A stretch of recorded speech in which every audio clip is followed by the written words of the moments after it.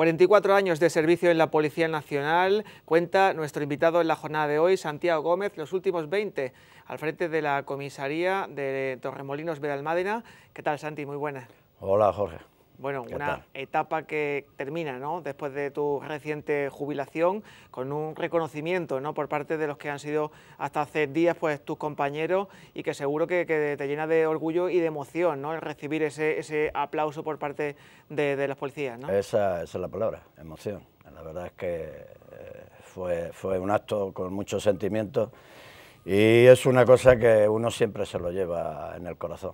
Eh, no lo esperas, porque la verdad es que, no esperas, tú haces tu trabajo y, piensas que, lo que está es, tu obligación, ¿no? Y tienes esa respuesta que, la verdad es que, es muy, muy emocionante. 44 años de servicio en la Policía Nacional, los últimos 20 aquí en la comisaría de Torremolinos Veralmadena. ¿Cómo recuerdas ese día de reconocimiento por parte de tus compañeros? Eh, pues eh, lo que hemos comentado. Eh, eso sí, es una cosa que, siempre te lo vas a llevar consigo. Normalmente siempre hay una, pues un reconocimiento ¿no? a través de una comida que se puede hacer para, para, para todas aquellas personas que hemos terminado un ciclo en, este, en el Cuerpo Nacional de Policía y en este caso yo me llevé la agradable sorpresa de que no solamente bueno, no se pudo hacer esa comida por, el momento que estamos viviendo, pero que no solamente eh, consistía en, ese, en, ese, en esa comida, sino que además eh, esa despedida que, vamos, que me pilló, como yo digo, de pardillo cuando, cuando llegamos allí a comisaría y vi ese despliegue que se había hecho y con ese motivo donde respondieron todas las, eh, las personas, todos los compañeros de las distintas brigadas y Secretaría General y demás. La verdad es que que ese momento no lo puedes olvidar nunca. Y estás muy agradecido, claro. Te pillaron fuera de juego, ¿no? Sí, sí, porque lo hicieron también, que veníamos de una visita que habíamos hecho, que me había eh, me recibió el alcalde de Torremolino, eh, precisamente para, para, como despedida, despedida de, de, estos años. Y cuando llegué, pues me encontré, lo hicieron también que, que, me sorprendió, ¿no? Eh, en fin, son momentos que no pude evitar y que se me cayesen las lágrimas porque la verdad eh, fue tremendo. Los ascensos profesionales, lógicamente, siempre eh, llenan de orgullo, pero recibir el aplauso directo por parte de los que han sido compañeros quizás es incluso hasta más gratificante, ¿no? Es que al final eh, creo que es lo que queda. Los ascensos están ahí, uno se presenta efectivamente, ¿quién no dentro de su trabajo aspira a llegar a lo máximo, no? Si lo consigues bien y si no, pues no tienes por qué eh, eh, echar de menos nada, ¿no? Porque tu trabajo es lo primero, amas tu trabajo y, donde llegas, pues trata de, resolver todos los problemas que acometen en el puesto que ocupa. Pero que efectivamente, eso queda ahí en el olvido, es decir, eso pasa, te vas con una determinada categoría pero lo que queda efectivamente es esa respuesta, esa respuesta de cariño que te han hecho, es, eh, para mí es lo que más vale, más que cualquier otra cosa. 20 años aquí en la comisaría de Torremolinos Belalmádena, eh, más de 15, ¿no? unos 17 aproximadamente, como jefe de brigada local de seguridad ciudadana, ¿verdad? Sí, sí, me hice cargo siendo inspector y el comisario por entonces eh, depositó la confianza en mí y luego ascendí a inspector jefe en el 2006, creo que fue, y, bueno, pues a partir de ese comisario, todos los que han ido pasando por ahí, desempeñando la responsabilidad de esta comisaría de Torremolinos en Almadena, pues han ido depositando y confiando en, el trabajo que estaba desarrollando, y eso siempre es muy de agradecer, ¿no? Eh, es, eh, vamos, uno también, esas cosas no las pueden olvidar. ¿eh? Hijo de Guardia Civil, hermano de Policía Nacional, ¿lo suyo es de, familia? Sí, sí, mi padre fue Guardia Civil, desgraciadamente ya fallecido, y mi hermano se, digamos, se jubiló como inspector jefe también, ahí en la comisaría de Fungirola. De familia, pero también supongo que de vocación, ¿no? Es que yo amo a mi profesión. Hoy estoy jubilado y sigo amando mi profesión. Yo creo que he sido un privilegiado de poder elegir aquello que me gusta. Me supongo que todo aquel es, eh, independientemente de la profesión que haga, eh, si la ama, o la quiere, pues yo creo que las mañanas se llevan de otra manera, porque uno va, va alegre, va contento. Recientemente jubilado, pero a usted no le hubiera importado continuar un poquito más, ¿verdad? Yo es que físicamente estoy bien, gracias a Dios, entonces no me hubiese importado, efectivamente, eh, continuar. Pero las cosas vienen así, uno tiene que cumplir y ahora, pues bueno, aprovechar el tiempo en otras actividades que hay muchas también. Inició Santiago Gómez su carrera profesional muy pronto, ¿no? A los 21 años, en esa promoción 77-78, ¿no? ¿Cómo recuerda aquella época, su ingreso? En Joder, pues la verdad es que todos los momentos son bonitos. Lo que pasa es que mm, yo soy de, no estar recordando continuamente todo aquello que ha ido, ha ido pasando, ha ido viviendo, ¿no? Uno tiene... Para mí es el día a día todo aquello que queda en el recuerdo, porque cuando uno echa la vista atrás se alegra, ¿no? De donde uno ha pasado, donde uno ha trabajado con los compañeros que, efectivamente ha compartido el día a día. Pero también eh, eh, entristece, porque ves que hay compañeros que han fallecido, aquellos que, sobre todo han sido hermanos como, como para mí, ¿no? Y, esas cosas pues te dañan, lo mejor es continuar y bueno, hasta que ha cumplido esa, esa edad que, que, me dice que tengo que pasar a otra, pues a otra vida, como yo digo, aunque sea, eh, o la hagamos activa, pero que prefiero siempre el, recordar estos momentos actuales, no, no echar la vista atrás. Sus primeros inicios en la Policía Nacional, su primer destino en San Sebastián, ¿no? Sí, fue en San Sebastián, ahí estuve poco tiempo, pasé a Madrid, de Madrid a Valdepeña, de la provincia de Ciudad Real, y en el 2000 me vine para acá, para Torremolino Bernal La verdad es que eh, yo creo que en todos los pasos que di fue decisiones acertadas. Viví grandes momentos, eh, trabajé a gusto, mm, pues no tuve problemas absolutamente con ningún tipo de, situaciones, ni de compañeros, ni nada, al revés. Eh, gracias a Dios por donde he ido pasando he ido dejando no solo compañeros, sino amigos.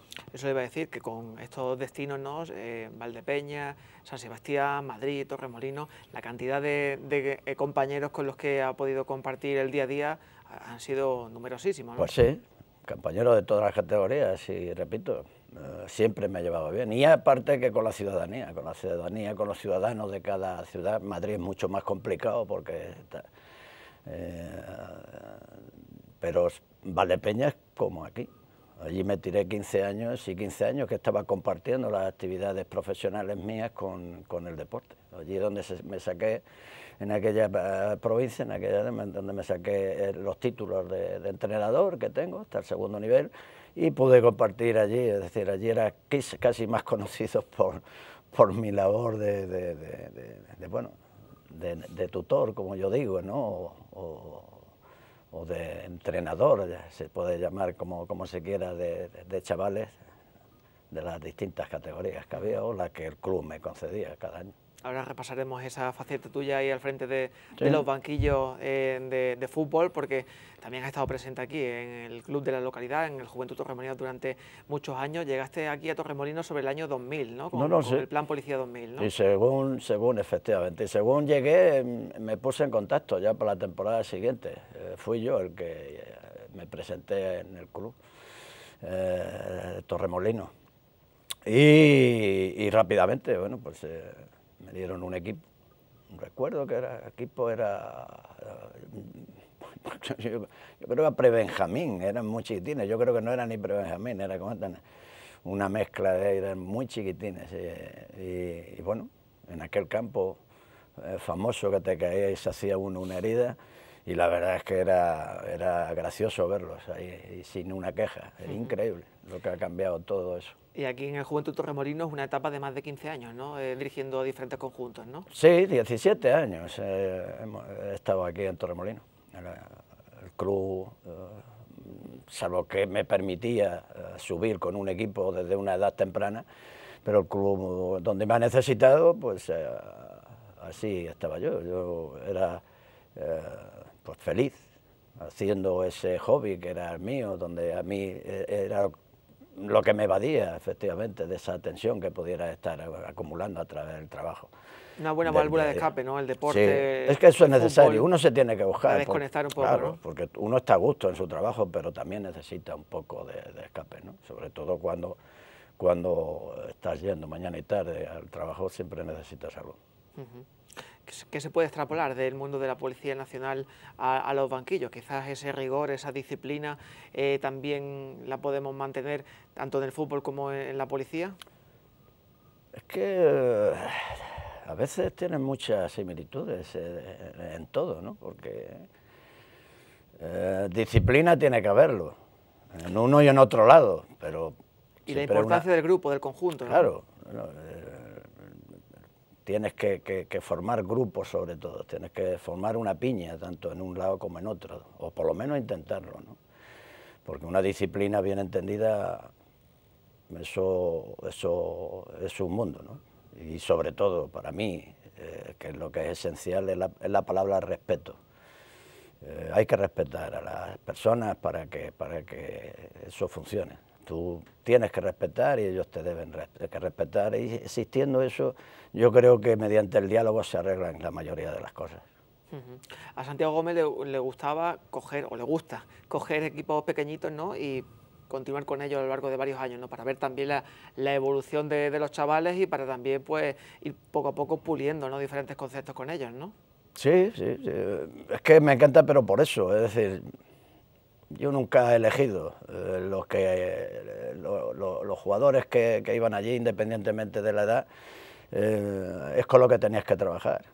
Y la respuesta que te van dando año a año es increíble yo recuerdo que no sé si cogí, siendo, no sé si de primer año, a Levín a, Arce, eh, recuerdo que era Arce, y la verdad que las alegrías que ha dado ese, esos jugadores han sido inmensas. Los padres que, que, hacían el seguimiento pueden dar fe de ello. Y yo creo que es un trabajo de día a día, y cuando uno ve esa respuesta, porque ¿cuándo se producen los cambios? ¿Cuándo se pueden producir los cambios? pues cuando no hay un entendimiento, o los jugadores no entienden al, entrenador, o el entrenador no llega a los jugadores. Pero mientras que haya una comunicación, yo entiendo que como en todas las cosas, debe ir el, día a día. Hay que dejar trabajar, hay que ir para que pueda desarrollar lo máximo posible. Eh, el fútbol de ahora pues eh, casi se traslada al pequeño, aquí parece que nos vamos a dirigir eh, o nos vamos encaminando por los resultados y, los resultados tienen que ser importantes para las motivaciones que nos vaya tanto a, los jugadores como al entrenador, pero no lo es todo. para mí siempre es el claro, para mí siempre es el trabajo, trabajo el, día a día que estás ahí machacando y donde ves, donde, donde eh, de, algo, de algo que ha llegado nuevo, de algo que, que, acaba de empezar, cómo va, va renaciendo, cómo va ampliando esos conocimientos. Para mí eh, es esencial. Sabemos que no todos, como, toda, como en la vida, no todos pueden servir para todos. Lo mismo eh, es bueno para otro deporte y para este no. Y esos, esos valores ¿no? que tiene el deporte, de compromiso, de superación, de, unidad, de equipo, que también se deben desarrollar y cuanto más pequeñitos los chavales, pues mucho más. Claro, si es que es toda parte que no se debe. Yo, yo soy de las personas que me da igual si tengo prebenjamines, eh, que, si tengo juveniles. Yo creo que al, niño hoy en día, como yo digo, si ellos eh, saben pedir una cosa, saben entenderte perfectamente lo que quieres. Tú a, los jugadores no lo puedes, por muy pequeños que seas o independientemente de la edad que tengas, tú no puedes engañar a los jugadores. Tienes que ser, pues eso, tienes que ser franco como en la vida cotidiana. Tú tienes que, decir pues, pues, como, como son las cosas. Hay a veces que, que se les malinterpreta pero que es que tienes que hacerlo, no puedes estar engañando a, ningún lado. Tú quieres algo concreto, quieres sacar algo, un rendimiento, y quieres sacar una mejora y tienes que decir cómo tienes que hacerlo y cómo tienes que llevarlo. Nosotros no, no dejamos de ser orientadores eh, de esa, en esas edades, independientemente de que llegues a juveniles con 17 años. Yo pienso que nuestra labor de entrenador tiene que ser mucho más amplia que solamente quedarnos en eso. En, en, Has empleado la palabra, la palabra tutor. Sí, es que es eso. eh, es todo.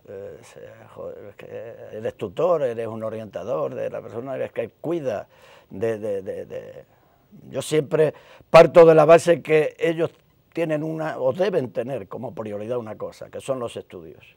Igual que para mí es un hobby, el fútbol, en ese momento para ellos es un. El, fútbol se le puede cambiar, puede jugar tres y terminar mañana jugando al tenis. Pero de momento, si el, si el fútbol es su hobby, si es lo que le gusta y quiere ir allí precisamente para, desarrollar esa actividad deportiva que, le, le, invade y que le, que le llena, pues indudablemente tiene que estar eh, abierto a todas esas pequeñas cosas que uno le va demostrando. Es decir, ese respeto tiene que ser, ya desde edades muy tempranas, tiene que ser eh, enorme, en, doble, en doble sentido. Si no, si se pierde algo de eso, estamos perdiendo automáticamente eh, lo que es eh, la realidad del deporte. Hemos comentado la, etapa amplia en el Club del Pozuelo, en el Juventud Torremolino, ahora actualmente en el Benalmádena Atlético, ¿verdad? Sí, en el Club de Benalmádena Atlético, allí en Benalmádena en lo que es el polideportivo,